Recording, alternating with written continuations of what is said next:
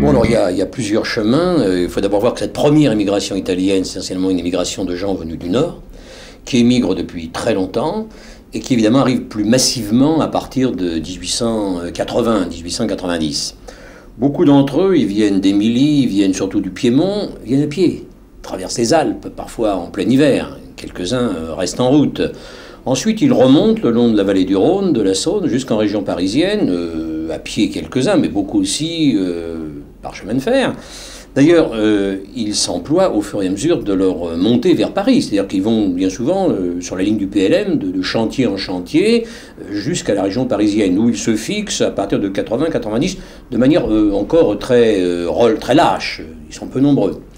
Il y a une autre émigration qui vient de plus loin, qui vient du sud. Ce sont des immigrations, une émigration de, jeunes, d'enfants, de- d'adolescents. Cela vient du Napolitain, de Basilicate. Euh, ils s'embarquent à Naples, ils arrivent à Marseille et de là, ils remontent vers Paris.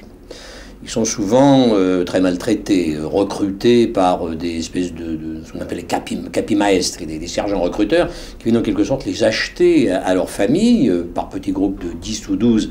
Ils remontent jusqu'à Naples ou jusqu'à Gênes, de là ils s'embarquent pour Marseille.